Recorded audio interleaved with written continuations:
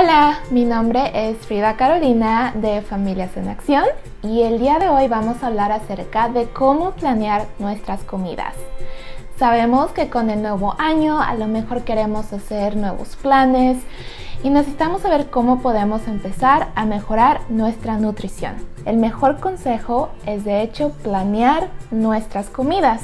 Tomarse simplemente un momento del día para pensar qué es lo que vamos a comer durante la semana y asegurarse que sea una comida balanceada y sana. Lo más importante cuando queremos empezar a planear nuestra comida es simplemente tener en mente el plato saludable. Asegurarse que tenemos verduras, frutas, granos integrales y tenemos proteína, que a veces pueden ser de origen animal o pueden de ser origen vegetal, como los frijoles.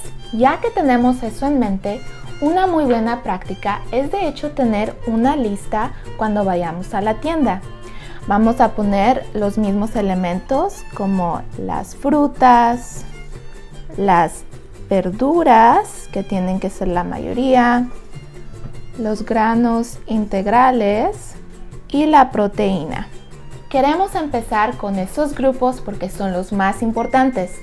No hay que empezar con necesito galletas o papas fritas. Vamos a enfocarnos en los alimentos más saludables. Con las frutas queremos ah, frutas que están en temporada.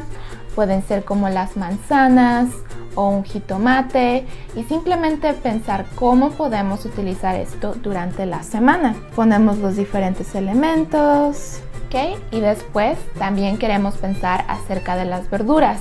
Podemos pensar que si compramos lechuga podemos hacer una ensalada y después utilizar otra parte de la lechuga para taquitos o para otras recetas que simplemente necesiten otras verduras. También con los granos es muy importante ah, que sean integrales. Las tortillas de maíz son muy saludables, es simplemente la moderación queremos comer en un platillo saludable de una a dos porciones de granos integrales.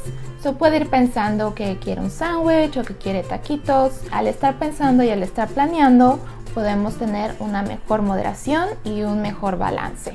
Y por supuesto está la proteína. Con la proteína queremos pensar qué es lo que podemos hacer por el desayuno. Usualmente en el desayuno queremos tener una comida completa que nos dé energía para todo el día.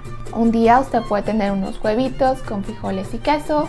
El otro día puede tener una avena con frutas que estén de temporada. Es simplemente planear para ahorrar dinero, para comer más saludable y para que tengamos una mejor nutrición. Lo más importante es de que dejemos los productos procesados como las galletas o las papas fritas al final. En vez de comprar papitas fritas, simplemente podemos elegir papas naturales, las cuales podamos hornear y que sepa más rico con un aceite de oliva y con sal y pimienta. Recuerde que cuando queremos hacer comidas más saludables, el punto más importante es empezar a planear nuestra nutrición para usted y para su familia.